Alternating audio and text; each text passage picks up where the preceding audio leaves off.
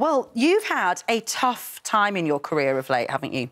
How does it feel? Does this feel like complete vindication it, of what you've been doing? It feels amazing. It feels quite emotional, actually, watching that. Aww. It's fantastic. And uh, just so proud to be part of this group now of teachers across the world that are doing great things. I can't wait to meet them. This is brilliant. Now, I'm, I'm from Birmingham, where you're from, and obviously, you know, it's been covered a lot in the local news in Birmingham, and it's now hit the national, national press as well.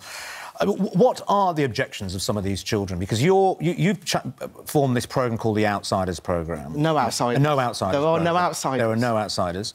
But some, some parents, majority Muslim, I believe some Christian families as well, have objected to your teachings about homosexuality and living together with gay people um, to their children. Is, is, that generally it? Is there more?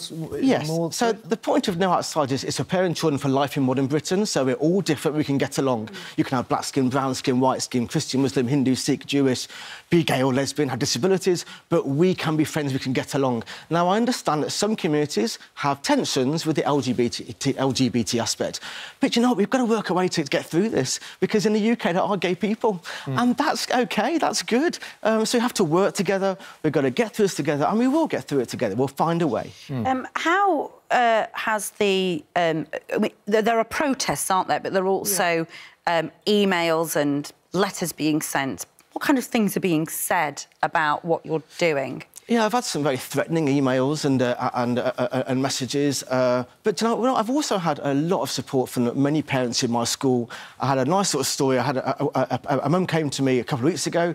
She got to see me by saying a child was being bullied. She got into me and said, "He's not being bullied. I want you to know I support you, and many are with me." So there are a lot. There are protests outside, but there are also lots of parents who are supportive of this work, and they see it in context. Parents from Muslim backgrounds yes, as well. in my school. My mum and dad would tell me certain things, and they were from a religious perspective. But you went to school and you got another perspective. You went hang out with your mates, you got another perspective. Surely that's what life's about, isn't it? We want to get different perspectives. Just just because something doesn't fit into our religious beliefs doesn't mean we shouldn't learn about it. And, and as young kids should be able to make their own minds up. You must have read my book. You're, well, I, I, absolutely yeah. agree. I want some you. of that million quid if you're winning, mate. That's what I want. I absolutely agree with you. It's about different identities. It's about different ideas. Yeah. But we, we can coexist. Yeah. Us can coexist together. Mm. Let me just put a point to you. I mean, Ofsted have come out on completely on your side. Obviously, they're saying that that um, you know children need to be taught about, as you say, society beyond their family life. Yes. Uh, there's somebody, one mother who wanted to remain anonymous, which is sort of the problem with um, threats and things, isn't it, or whatever. But she says her daughter attends Parkfield School that she feels that her daughter is too young to be taught what goes on in someone's bedroom. It's something that we would like to teach our children ourselves, and we feel like it's being forced upon us.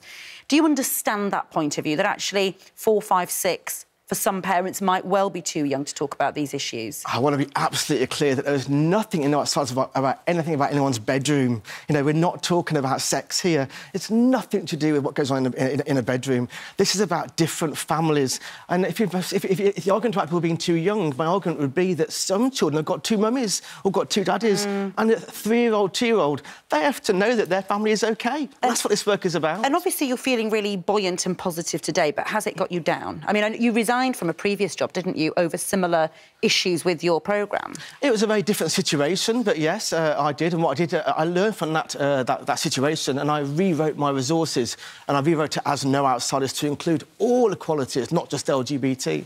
I mean, what, what puzzles me is that you know, many schools, and your school included, will teach lots of young children lots of storybooks about heterosexual relationships. Yes. Some of them that, that don't involve a marriage. Now, that is anti-Islamic too. I don't see Muslims in Birmingham protesting to that. So it's clearly is an, an element of homophobia going on here. I don't think it's a thing about well, we're protecting our children. And I think that is that is a fundamental issue, which perhaps is outside of your control as a school teacher. But that is, I think, that is personally, as a British Muslim, I think that's something the community mm. has got to look at. Well, I, I, would agree with you. And I think for me, it's about community cohesion. This work is all about bringing communities together. You know, I saw on the news just a moment ago, you had about, about the 16-year-old boy stabbed in Small Heath. That's a yeah. tragic, horrific, you know, a, a thing to happen. This work is all about community cohesion. Why does that happen? How can we stop hate crime? How can we stop fear of difference? It's programs like this in schools mm. from four years onwards, teaching children that we, you have brown skin, I have white skin. Mm. Do you know what? We can get on, we can be friends. Andrew Moffat, I think you're absolutely brilliant. I can, I can imagine there's lots of teachers that perhaps would want a slightly easier life and not want to go to a school like this, which I know the area, I know it's comes with all these difficulties. So I want to shake you as a hand as a Aw. Brummie. Thank you very much for Thank what you're doing in our city. Thank, Thank you very And do you have a big glittering award ceremony to go to? Yes, in Dubai in about, In about a month. Absolutely. Look at yes. you, eh? I know. Can't believe it. Should I be coming with you just as a bit of support? You should. yeah, let- let- let- we'll, we'll talk afterwards. Yeah, brilliant. Yeah. Uh, congratulations. Thank you.